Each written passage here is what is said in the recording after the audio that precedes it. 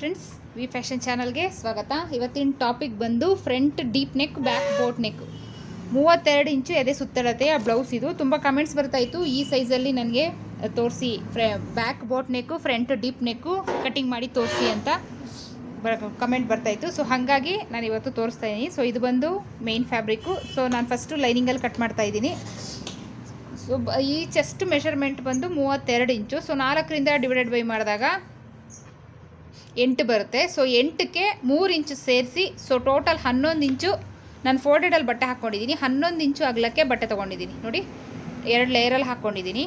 ಹನ್ನೊಂದು ಇಂಚು ತೊಗೊಂಡಿದ್ದೀನಿ. So length ಇವ್ರದ್ದು ಬಂದು ಹದಿಮೂರು ಇಂಚು ರೆಡಿ ಲೆಂತು ಸೊ ಅದಕ್ಕೆ ಒನ್ ಇಂಚು ಸೇರಿಸಿ ಹದಿನಾಲ್ಕು ಇಂಚಿಗೆ ನಾನು ಮಾರ್ಕ್ ಹಾಕ್ತಾ ಇದ್ದೀನಿ. ಬ್ಯಾಕ್ ಲೆಂತ್ ಇದು.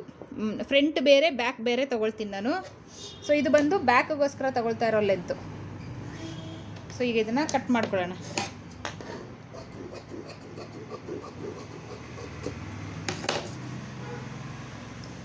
ಸೊ ಫಸ್ಟು ಬ್ಯಾಕ್ನ ನಾವು ಮಾರ್ಕ್ ಹಾಕೊಂಬೇಡ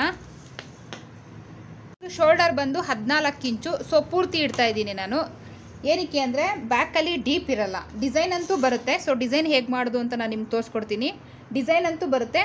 ಬಟ್ ಬ್ಯಾಕಲ್ಲಿ ಒಂದು ಬೋಟ್ ನೆಕ್ ಅಂತ ಅಂದರೆ ಇಲ್ಲಿ ಒಂದೇ ಒಂದು ಮೂರು ಇಂಚಿಗೆ ಮಾರ್ಕ್ ಹಾಕಿ ಇಲ್ಲೊಂದು ಲಾಕ್ ಬರುತ್ತೆ. ಸೊ ಹಂಗಾಗಿ ನಿಮಗೆ ಶೋಲ್ಡರ್ ಡ್ರಾಪ್ ಆಗೋದು ಅದೆಲ್ಲ ಯಾವ ಸಮಸ್ಯೆನೂ ಬರಲ್ಲ. ಫ್ರಂಟಲ್ಲಿ ಡೀಪ್ ನೆಕ್ ಇದ್ದರೂ ನೀವು ಏನು ಭುಜ ಇದೆ, ಅವ್ರದ್ದು ಎಕ್ಸಾಕ್ಟು ಸೊ ಅಷ್ಟು ಪೂರ್ತಿ ಇಟ್ಕೊಂಬಿಡಿ. ಇವ್ರದ್ದು ಬಂದು ಹದಿನಾಲ್ಕು ಇದೆ. ಸೊ ನಾನು ಅದರಲ್ಲಿ ಅರ್ಧ ಅಂದರೆ ಏಳು ಇಂಚು ಶೋಲ್ಡರ್ ಇಡ್ತಾ ಇದ್ದೀನಿ. ಸೊ ಆರ್ಮ್ ಹೋಲು ಅಷ್ಟೇ ಏಳು ಇಂಚು ಇಡ್ತಾ ಇದ್ದೀನಿ.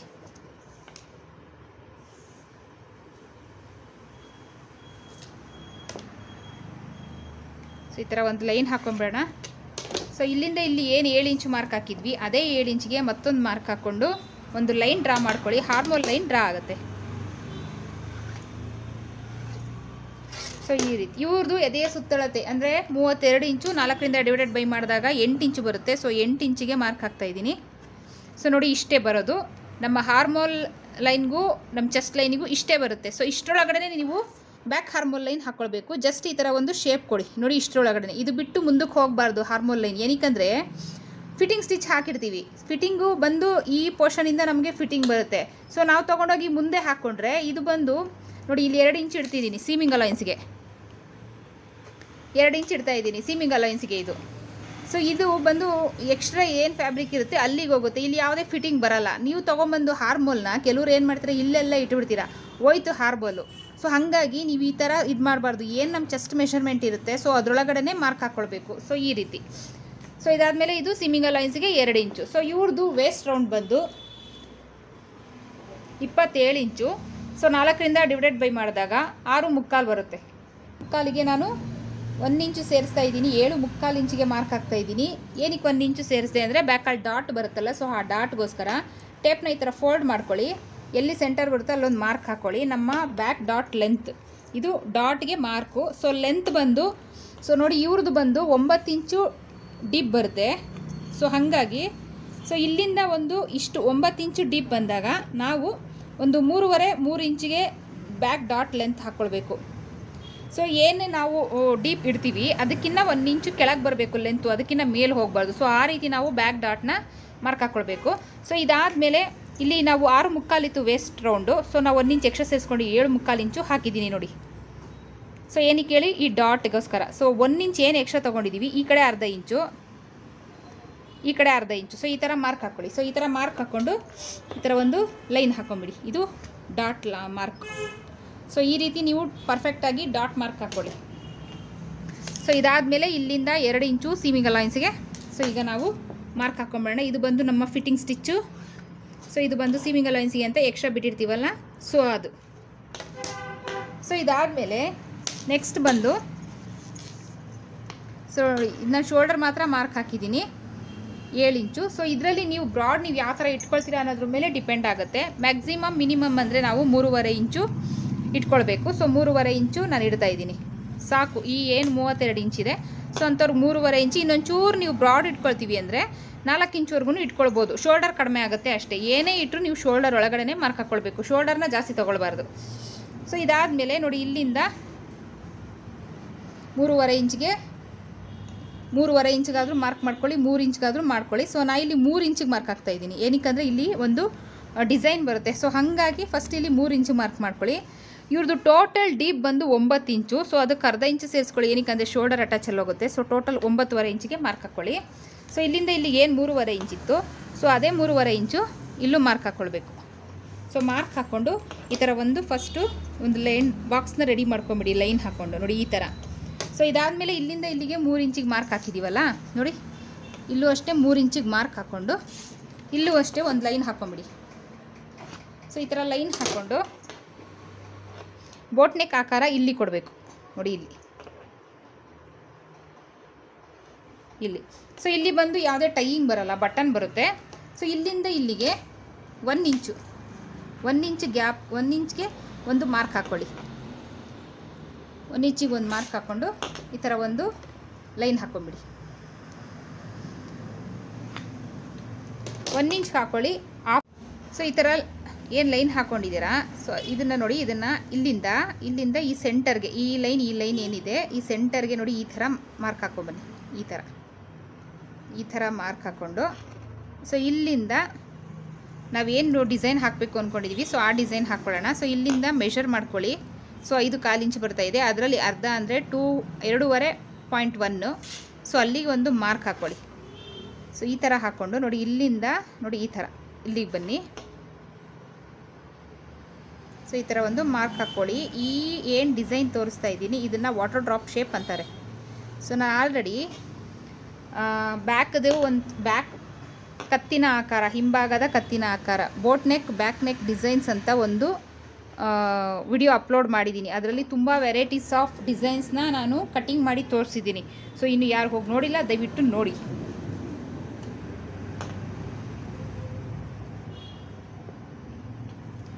ಈ ಥರ ಮಾಡ್ಕೊಬೇಕು. ಈ ಥರ ನೀವು ಗ್ಯಾಪ್ ಬಿಟ್ಕೊಂಡಿಲ್ಲ ಅಂದರೆ ನಿಮಗೆ ಸ್ಟಿಚ್ಚಿಂಗಿಗೆ ಜಾಗ ಸಿಗಲ್ಲ. ಸೊ ಆವಾಗ ಗ್ಯಾಪ್ ಬಂದುಬಿಡುತ್ತೆ. ಸೊ ಈ ರೀತಿ ಮಾಡಿಕೊಂಡ್ರೆ ನಿಮಗೆ ಆರಾಮಾಗಿ ಬರುತ್ತೆ. ಸೊ ಇಷ್ಟು ಮಾಡ್ಕೊಳ್ಳಿ. ಇದನ್ನು ಸ್ವಲ್ಪ ಹೈಲೈಟಾಗಿ ಹಾಕ್ಕೊಳ್ಳಿ ಏನಕ್ಕೆ ನಾವು ಇದು ಕ್ಯಾನ್ವಸ್ ಯೂಸ್ ಮಾಡ್ತೀವಿ. ಸೊ ಇದು ನಮ್ಮ ಬ್ಯಾಕ್ ಕಟ್ಟಿಂಗು ಸೊ ಇಷ್ಟಾದಮೇಲೆ ಇದನ್ನು ಕಟ್ ಮಾಡ್ಕೊಳ್ಳೋಣ.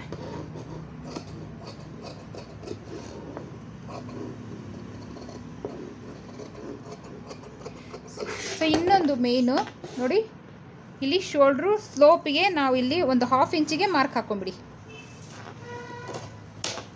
ಬೋಟ್ ನೆಕ್ ಅಥವಾ front deep neck back boat neck ಅಥವಾ ಕಾಲರ್ ನೆಕ್ಕು ಸೊ ಎಲ್ಲದಕ್ಕೂ ನೀವು ಶೋಲ್ಡರ್ ಸ್ಲೋಪಿಗೆ ಮಾರ್ಕ್ ಹಾಕಲೇಬೇಕು. ಸೊ ಶೋಲ್ಡರ್ ಸ್ಲೋಪ್ ಬಗ್ಗೆ ತುಂಬ ಜನ ಕಮೆಂಟ್ಸ್ ಹಾಕಿದ್ದೀರಾ. ಸೊ ಅದ್ರ ಬಗ್ಗೆ ಒಂದು ವಿಡಿಯೋ ಮಾಡಿ ಹಾಕಿ. ನಮಗೆ ಅಷ್ಟು ನೀಟಾಗಿ ಗೊತ್ತಾಗ್ತಾ ಇಲ್ಲ ಅಂತ. ಸೊ ಯಾವ ಬ್ಲೌಸ್ಗೆ ಶೋಲ್ಡರ್ ಸ್ಲೋಪ್ಗೆ ನಾವು ಮಾರ್ಕ್ ಹಾಕಬೇಕು, ಯಾವ ಬ್ಲೌಸ್ಗೆ ನಾವು ಮಾರ್ಕ್ ಹಾಕಬಾರ್ದು ಅನ್ನೋ ಅಂತ ಕೆಲವ್ರಿಗೆ ಗೊತ್ತಿಲ್ವಂತೆ ಸೊ ಅದ್ರ ಬಗ್ಗೆ ಒಂದು ಸಪ್ರೇಟ್ ವಿಡಿಯೋ ಮಾಡಿ ನಾನು ಹಾಕ್ತೀನಿ. ಸೊ ಇದಾದಮೇಲೆ, ಇಷ್ಟು ಕಟಿಂಗ್ ಆದಮೇಲೆ ಸೊ ಇದನ್ನು ಈ ರೀತಿ ಫೋಲ್ಡ್ ಮಾಡಿಕೊಂಡು,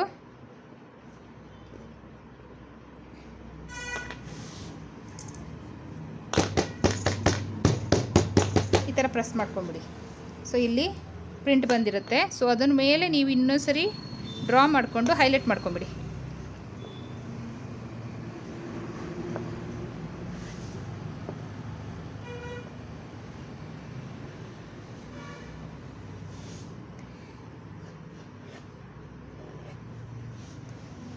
ಇದಕ್ಕೆ ಕ್ಯಾನ್ವಸ್ ಯೂಸ್ ಮಾಡಿದ್ರೆ ಚೆನ್ನಾಗಿ ಬರುತ್ತೆ. ಕ್ಯಾನ್ವಸ್ ಯೂಸ್ ಮಾಡ್ದಿರಾ, ಹೇಗೆ ಮಾಡೋದು ತೋರಿಸ್ಕೊಡಿ ಅಂತಲೂ ಕಮೆಂಟ್ ಬಂದಿತ್ತು. ಸೊ ಹಾಗಾಗಿ ನಾನು ಇದಕ್ಕೆ ಕ್ಯಾನ್ವಸ್ ಯೂಸ್ ಮಾಡ್ತಾ ಇಲ್ಲ. ಸೊ ಇಲ್ಲಾಂದರೆ ನಾನು ಈ ಥರ ಬ್ಲೌಸಿಗೆಲ್ಲ ಹಂಡ್ರೆಡ್ ಪರ್ಸೆಂಟ್ ಕ್ಯಾನ್ವಸ್ ಯೂಸ್ ಮಾಡ್ತೀನಿ. ಸೊ ಇದ್ರದ್ದು ಅಷ್ಟೇ ಇಲ್ಲಿ ಪ್ರಿಂಟ್ ಬಂದಿದೆ ನೋಡಿ. ಸೊ ಅದ್ರ ಮೇಲೆ ಈ ಥರ ಒಂದು ಮಾರ್ಕ್ ಹಾಕ್ಕೊಂಡ್ರೆ ಸೊ ನಮ್ಮ ಬ್ಯಾಕ್ ಕಟ್ಟಿಂಗು ಮುಗೀತು. ಸೊ ಇದ್ರದ್ದು ನೆಕ್ಸ್ಟು ಇದನ್ನು ನಾನು ಕಟ್ ಮಾಡಲ್ಲ ನೆಕ್ಕು. ಸೊ ಇವಾಗ ಇದ್ರ ಮೇಲೆ ಏನಿದೆ ಸ್ಟಿಚ್ ಹಾಕೊಳ್ಳೋವಾಗ ನಾನು ಕಟ್ಟಿಂಗ್ ಮಾಡ್ಕೊಳ್ತೀನಿ. ಈಗಲೇ ಕಟ್ ಮಾಡ್ಕೊಳ್ಳೋಣ. ಸೊ ಇವಾಗ ನಾವು ಫ್ರಂಟ್ ಪಾರ್ಟ್ನ ಮಾರ್ಕ್ ಮಾಡ್ಕೊಳ್ಳೋಣ. ಸೊ ನೋಡಿ ಬ್ಲೌಸ್ ರೆಡಿ ಲೆಂತ್ ಬಂದು ಹದಿಮೂರು ಇಂಚು ರೆಡಿ ಸೊ ಬ್ಯಾಕ್ಗೆ ನಾನು ಒಂದು ಇಂಚು ಸೇರಿಸಿ ಹದಿನಾಲ್ಕು ಇಂಚು ತೊಗೊಂಡಿದ್ದೆ. ಸೊ ಫ್ರಂಟ್ಗೆ ನಾನು ಎರಡೂವರೆ ಇಂಚು ಸೇರಿಸ್ತೀನಿ. ಹದಿಮೂರಕ್ಕೆ ಎರಡೂವರೆ ಇಂಚು. ಸೊ ಟೋಟಲ್ ಹದಿನೈದುವರೆ ಇಂಚು. ಸೊ ಹದಿನೈದುವರೆ ಇಂಚ್ಗೆ ನಾನಿಲ್ಲಿ ಲೆಂತ್ ಮಾರ್ಕ್ ಹಾಕ್ತಾ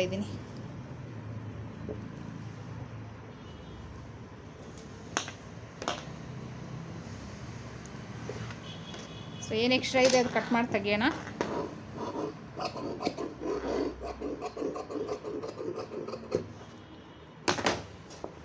ಸೊ ಬಂದು, ಇದು ಬಂದು front hook so front hook ಆಗಿರೋದ್ರಿಂದ ನಾನಿಲ್ಲಿ ಒಂದು ಹಾಫ್ ಇಂಚಿಗೆ ಒಂದು ಮಾರ್ಕ್ ಹಾಕ್ತಾ ಇದ್ದೀನಿ. ಫ್ರಂಟ್ ಪಟ್ಟಿ ಕಾಜಪಟ್ಟಿ ಹುಕ್ ಪಟ್ಟಿಗೆ. ಸೊ ಈ ಥರ ಲೈನ್ ಹಾಕ್ಕೊಂಡು ಮಾಡೋದ್ರಿಂದ ಬ್ಲೌಸಲ್ಲಿ ಸೆಂಟರಲ್ಲಿ ಗ್ಯಾಪ್ ಅನ್ನೋದು ಬರಲ್ಲ ನೀಟಾಗಿ ಫಿನಿಶಿಂಗ್ ಬರುತ್ತೆ. ಸೊ ಅದಾದಮೇಲೆ ಬ್ಯಾಕಲ್ಲಿ ಯಾವ ಥರ ಇಟ್ಟಿದ್ವಿ ಸೇಮ್ ಅದೇ ಥರ ಏಳು ಇಂಚು ಶೋಲ್ಡರ್, ಆರ್ಮ್ ಹೋಲ್ ಏಳು ಇಂಚು. ಸೊ ನೀವು ಏನೇ ಮಾರ್ಕ್ ಹಾಕಿದ್ರು ಇಲ್ಲಿ ಏನು ಅರ್ಧ ಇಂಚ್ ಬಿಟ್ಕೊಂಡಿದ್ದೀವಿ, ಇದನ್ನು ನೀವು ಲೆಕ್ಕಕ್ಕೆ ತೊಗೊಳ್ಬಾರ್ದು. ಏನೇ ಮಾರ್ಕ್ ಹಾಕಿದ್ರು ಈ ಲೈನಿಂದ ಆ ಕಡೆ ಹಾಕ್ಕೊಳ್ಬೇಕು ಸೊ ಇಲ್ಲಿಂದನೂ ಏಳು ಇಂಚಿಗೆ ಮಾರ್ಕ್ ಹಾಕಿ ಒಂದು ಲೈನ್ ಹಾಕ್ಕೊಳ್ತೀನಿ ಸೊ ಇಲ್ಲಿಂದ ಇಲ್ಲಿಗೆ ಏಳು ಇಂಚ್ ಇತ್ತಲ್ಲ ಸೊ ಅದೇ ಏಳು ಇಂಚು ಇನ್ನೊಂದ್ಸರಿ ಮಾರ್ಕ್ ಹಾಕ್ಕೊಂಡು ಹಾರ್ಮೋಲ್ ಲೈನ್ ಡ್ರಾ ಮಾಡ್ಕೊಳ್ಳೋಣ. ಸೇಮ್ ಟು ಸೇಮ್ ಬ್ಯಾಕಲ್ಲಿ ಹೇಗಿತ್ತೋ ಫ್ರಂಟಲ್ಲೂ ಸೇಮ್ ಇಷ್ಟು ಮಾರ್ಕು ಇನ್ನು ಮುಂದೆ ಫ್ರಂಟ್ ಮಾರ್ಕ್ ಏನಿದೆ ಅದು ಚೇಂಜ್ ಆಗುತ್ತೆ. ನೋಡಿ. ನೆಕ್ ಆಗಲ್ಲ, ಮೂರುವರೆ ಇಂಚ್ ಇಟ್ಟಿದ್ವಿ. ಸೊ ಇಲ್ಲೂ ನಾನು ಮೂರುವರೆ ಇಂಚ್ ಇಡ್ತಾ ಇದ್ದೀನಿ. ಸೊ ನೆಕ್ ಆಗಲ್ಲ, ಮೂರುವರೆ ಇಂಚು ಸೊ ನೆಕ್ಕು ಫ್ರಂಟ್ ಬಂದು ಡೀಪ್ ನೆಕ್ ಇದು. ಸೊ ಹಾಗೆ ಇವ್ರದ್ದು ಡೀಪ್ ನೆಕ್ ಬಂದು ಫ್ರಂಟ್ ಡೀಪ್ ಬಂದು ಆರೂವರೆ ಇಂಚು ರೆಡಿ ಸೊ ಅದಕ್ಕೆ ಅರ್ಧ ಇಂಚು ಸೇರಿಸಿ ಏಳುವರೆ ಇಂಚ್ಗೆ. ನೋಡಿ, ಈ ಲೈನಿಗೆ ಕರೆಕ್ಟ್ ಮ್ಯಾಚ್ ಆಗ್ತಾ ಇದೆ. ಇಲ್ಲಿಗೆ ಮಾರ್ಕ್ ಮಾಡ್ತಾ ಇದ್ದೀನಿ. ಇಲ್ಲಿ ಏನು ಮೂರುವರೆ ಇಂಚ್ ಇಟ್ಟಿದ್ದೀವಿ ಸೊ ಅದೇ ಮೂರುವರೆ ಇಂಚು ಇಲ್ಲಿಗೆ ಮಾರ್ಕ್ ಹಾಕ್ಕೊಳ್ಳಿ ಮಾರ್ಕ್ ಹಾಕ್ಕೊಂಡು ಒಂದು ಲೈನ್ ಡ್ರಾ ಮಾಡ್ಕೊಳ್ಳಿ. ಸೊ ಈ ಥರ ಮಾಡಿಕೊಂಡು ಇಲ್ಲಿ ನಿಮಗೆ ಯಾವ ಶೇಪ್ ಬೇಕೋ ಆ ಶೇಪ್ ಹಾಕ್ಕೊಳ್ಬೋದು ಸೊ ಇಲ್ಲಿ ನಾನು ಒಂದು ಸ್ವೀಟ್ ಹಾರ್ಟ್ ಶೇಪ್ ಹಾಕ್ತಾ ಇದ್ದೀನಿ. ಸೊ ಇಲ್ಲಿಂದ ನೋಡಿ ಒಂದು ಎರಡು ಇಂಚು ಮೇಲಕ್ಕೆ ಒಂದು ಮಾರ್ಕ್ ಹಾಕ್ಕೊಳ್ಳಿ ಸೊ ಮಾರ್ಕ್ ಹಾಕ್ಕೊಂಡು ಇಲ್ಲಿಂದ ನೋಡಿ ಈ ಥರ ಸೊ ಈ ರೀತಿ ಮಾರ್ಕ್ ಹಾಕ್ಕೊಂಡು ಇಲ್ಲಿಂದ ಇದನ್ನು ಈ ರೀತಿ ಹಾಕ್ಕೊಳ್ಳಿ ಸೊ ತುಂಬ ಚೆನ್ನಾಗಿ ಬರುತ್ತೆ ಇದು, ಈ ನೆಕ್ಕು. ಆ್ಯಕ್ಚುಲಿ ನನ್ನ ಫೇವ್ರೆಟ್ ನೆಕ್ ಕೂಡ ಇದು. ಸೊ ಇದಾದಮೇಲೆ ಎದೆಯ ಸುತ್ತಳತೆಯ ನಾಲ್ಕನೇ ಒಂದು ಭಾಗ, ಅಂದರೆ ಎಂಟು ಇಂಚು ಫ್ರಂಟ್ ಹಾರ್ಮೋನ್ ಶೇಪ್ನ ಹಾಕ್ಕೊಳ್ಬೇಕು ಇಲ್ಲಿಂದ ಇಲ್ಲಿಗೆ ಅರ್ಧ ಇಂಚು ಶೋಲ್ಡರ್ ಸ್ಲೋಪ್ಗೆ ಮಾರ್ಕ್ ಹಾಕ್ಕೊಳ್ಳಿ ಮಾರ್ಕ್ ಹಾಕ್ಕೊಂಡು ನೋಡಿ ಈ ಥರ ಒಂದು ಲೈನ್ ಹಾಕ್ಕೊಳ್ಳಿ ಸೊ ಲೈನ್ ಹಾಕ್ಕೊಂಡು ನೋಡಿ ಇಲ್ಲಿಂದ ಇನ್ನೂ ನೀಟಾಗಿ ಅಂದರೆ ನೋಡಿ ಇಲ್ಲಿಂದ ಟೇಪ್ನ ಈ ಥರ ಇಟ್ಕೊಳ್ಳಿ. ಇಟ್ಕೊಂಡು ಟೇಪ್ನ ಈ ಥರ ಫೋಲ್ಡ್ ಮಾಡ್ಕೊಳ್ಳಿ. ಫೋಲ್ಡ್ ಮಾಡಿಕೊಂಡು ಮಾರ್ಕ್ ಹಾಕ್ಕೊಂಡು ಒಂದು ಹಾಫ್ ಇಂಚು ಈ ಸೈಡ್ ಬನ್ನಿ. ಈ ಸೈಡ್ ಅಲ್ಲ. ಈ ಸೈಡ್ ಬಂದು ನೋಡಿ ಇದನ್ನು ಈ ಥರ ಮಾರ್ಕ್ ಹಾಕ್ಕೊಳ್ಳಿ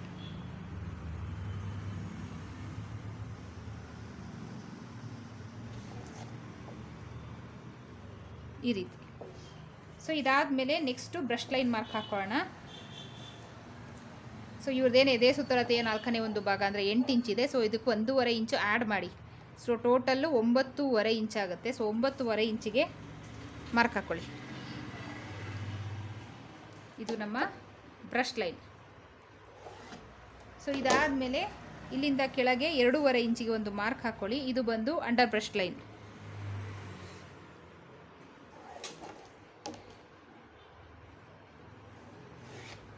ಸೊ ನೋಡಿ ಇದು ಬಂದು ಚೆಸ್ಟ್ ಲೈನ್ ಎದೆಯ ಸುತ್ತಳತೆ. ಇದು ಬಂದು ಬ್ರಷ್ ಲೈನ್ ಬ್ರಷ್ ಲೈನ್ ಅಥವಾ ಮೇಲಿಂದ ಕೆಲವರು ಒಂಬತ್ತುವರೆ, ಹತ್ತು ಇಂಚಿಗೆ ಏನು ನಿಪ್ಪಲ್ ಪಾಯಿಂಟ್ ಲೈನ್ ಅಂತ ಮಾರ್ಕ್ ಹಾಕ್ತಾರೆ. ಸೊ ಅದು ನಿಮ್ಮ ಹತ್ರ ಎಕ್ಸಾಕ್ಟ್ ಮೆಷರ್ ಇದ್ದರೆ ಮೇಲಿಂದ ನೀವು ಅಷ್ಟು ಎಕ್ಸಾಕ್ಟ್ ಮೆಷರ್ಗೆ ಹಾಕೊಳ್ಬೋದು.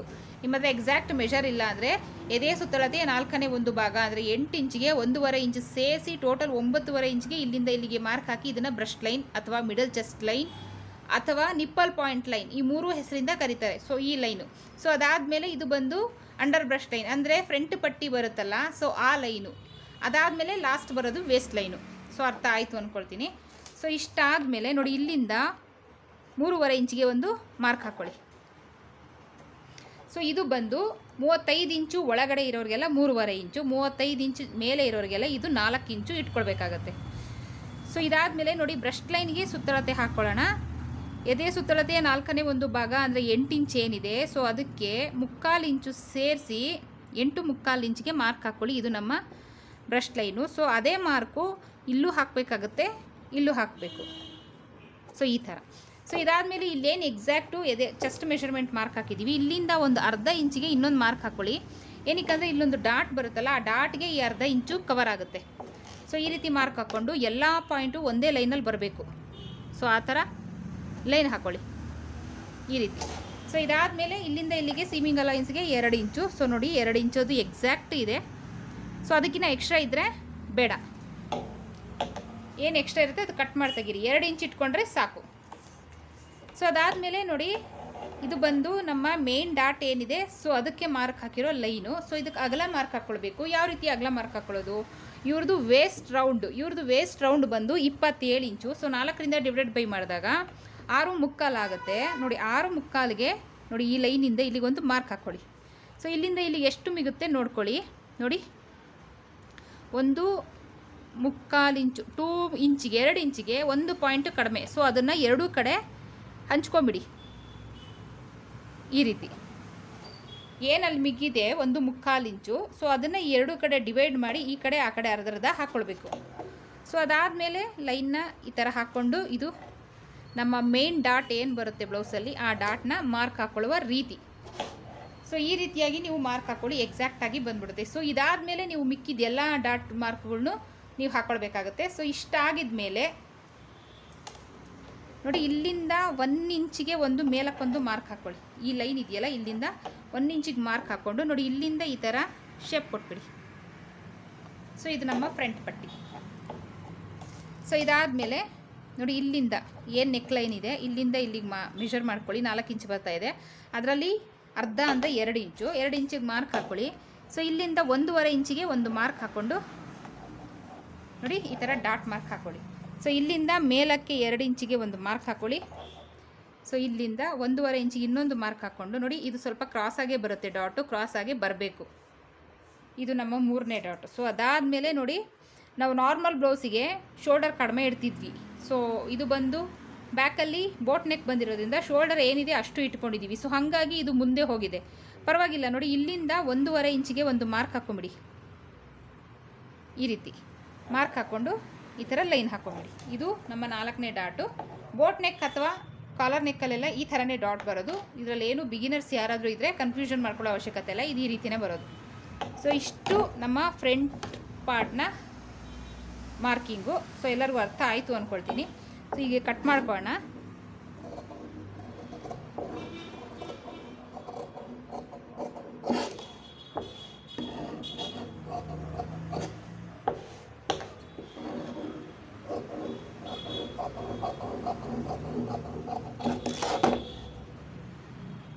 ಸೊ ಇದನ್ನ ಈ ಥರ ಟರ್ನ್ ಮಾಡಿ. ಕರೆಕ್ಟಾಗಿ ಟರ್ನ್ ಮಾಡ್ಕೊಂಬಿಡಿ. ಟರ್ನ್ ಮಾಡಿಕೊಂಡು ನೋಡಿ, ಇದನ್ನು ಈ ಥರ ಪ್ರೆಸ್ ಮಾಡ್ಕೊಬಿಡಿ. ನೆಕ್ಕು ಸೇರಿಸಿ. ಸೊ, ನೆಕ್ಕು ಸೇರಿಸಿ ಈ ರೀತಿ ಪ್ರೆಸ್ ಮಾಡ್ಕೊಂಬಿಡಿ. ಸೊ, ಪ್ರೆಸ್ ಮಾಡ್ಕೊಂಡಿದ್ದು ಆದಮೇಲೆ ಇದನ್ನು ಫ್ರಂಟನ್ನು ಸೆಂಟರಲ್ಲಿ ಓಪನ್ ಮಾಡ್ಕೊಳ್ಳಿ. ಸೊ ಓಪನ್ ಮಾಡಿಕೊಂಡು. ಸೊ, ನೋಡಿ, ಇಲ್ಲಿ ಪ್ರಿಂಟ್ ಬಂದಿರುತ್ತೆ. ಕ್ಯಾಮ್ರಾದಲ್ಲಿ ಕಾಣ್ತಾ ಇಲ್ಲ, ನಿಮಗೆ ಡೈರೆಕ್ಟ್ ಕಾಣುತ್ತೆ. ಸೊ, ಅದ್ರ ಮೇಲೆ ನೀವು ಈ ರೀತಿ ಹೈಲೈಟ್ ಮಾಡ್ಕೊಳ್ಳಿ.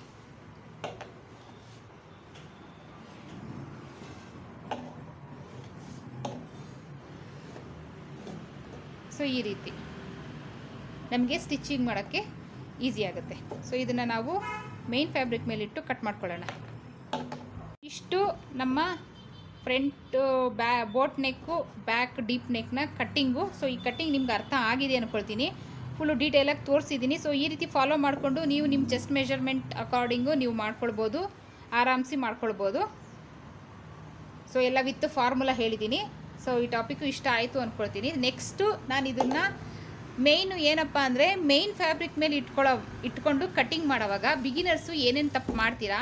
ಸೊ ಆ ತಪ್ಪುಗಳು ಮಾಡೋದ್ರಿಂದ ಏನೇನು ಪ್ರಾಬ್ಲಮ್ ಆಗುತ್ತೆ? ಯಾವ ರೀತಿ ನಾವು ಇದನ್ನು ಮೇನ್ ಫ್ಯಾಬ್ರಿಕ್ ಮೇಲೆ ಇಟ್ಟು ಕಟ್ಟಿಂಗ್ ಮಾಡ್ಕೊಳ್ಬೇಕು? ಫುಲ್ಲು ಡೀಟೇಲಾಗಿ ತೋರಿಸ್ತಾ ಇದ್ದೀನಿ ಬಿಗಿನರ್ಸ್ ದಯವಿಟ್ಟು ಮಿಸ್ ಮಾಡ್ಕೊಳ್ದಿರ ಈ ವಿಡಿಯೋನ ನೋಡಿ. ಸೊ ಅದಾದಮೇಲೆ ಇದರಲ್ಲಿ ಡಿಸೈನ್ ಬರುತ್ತೆ. ಸೊ ಆ ಡಿಸೈನು ಫ್ರಂಟು ಡಿಸೈನ್ ಮಾಡೋದು ಹಾಗೆ ಬ್ಯಾಕ್ ಡಿಸೈನ್ ಮಾಡೋದು ಎರಡೂ ಒಂದು ಬೇರೆ ವಿಡಿಯೋ ಮಾಡಿ ಹಾಕ್ತಾ ಇದ್ದೀನಿ ಸೊ ಮಿಸ್ ಮಾಡಿದೆ ನೋಡಿ, ಒಂದು ಕಂಪ್ಲೀಟ್ ಬ್ಲೌಸ್ ಏನಿದೆ, ಅದ್ರದ್ದು ಫುಲ್ಲು ಡೀಟೇಲ್ ಆಗಿ ತೋರಿಸ್ತಾ ಇದ್ದೀನಿ. ಸೊ ನೆಕ್ಸ್ಟ್ ವಿಡಿಯೋದಲ್ಲಿ ಇದ್ರದ್ದು ಇನ್ನೂ ಎರಡು ವಿಡಿಯೋ ಬರುತ್ತೆ ಮಿಸ್ ಮಾಡ್ದಿರ ನೋಡಿ. ಸೊ ಈ ಟಾಪಿಕ್ ನಿಮ್ಗೆ ಇಷ್ಟ ಆಯಿತು ಅಂದ್ಕೊಳ್ತೀನಿ ನಾನು ಎಕ್ಸ್ಪ್ಲೈನ್ ನಿಮ್ಗೆ ಇಷ್ಟ ಆಯಿತು ಅಂದ್ಕೊಳ್ತೀನಿ ಸೊ ಇಷ್ಟ ಆದರೆ ಲೈಕು ಇಲ್ಲಾಂದರೆ ಡಿಸ್ಲೈಕ್ ಏನೋ ಒಂದು ಕೊಡಿ. ಹಾಗೆ ಅಂತ ಹೋಗಬೇಡಿ. ಹಾಗೆ ನನ್ನ ಚಾನಲ್ನ ನೀವು ಸಬ್ಸ್ಕ್ರೈಬ್ ಅಂತೂ ದಯವಿಟ್ಟು ಮಾಡಲೇಬೇಕು. ಸೊ ಇಷ್ಟು ಹೇಳ್ತಾ. ಕಲಿಯೋಕ್ಕೆ ಪ್ರಯತ್ನ ಪಡಿ, ಕಲ್ತ್ಕೊಳ್ಳಿ, ನೀವು ಕಲ್ತಿದ್ದನ್ನು ಇನ್ನೊಬ್ಬರಿಗೆ ಕಲಿಸಿ, ಆದಷ್ಟು ನನ್ನ ವಿಡಿಯೋನ ಶೇರ್ ಮಾಡಿ. ಸೊ ನೆಕ್ಸ್ಟ್ ಇಂಟ್ರೆಸ್ಟಿಂಗ್ ಟಾಪಿಕ್ ಜೊತೆ ಸಿಗ್ತೀನಿ. ಅಲ್ಲಿವರೆಗೂ take care bye thank you